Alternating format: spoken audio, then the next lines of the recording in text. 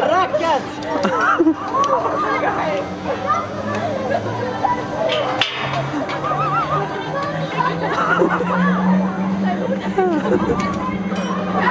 Ja, dat viel Zei je? Dat viel niet echt mee.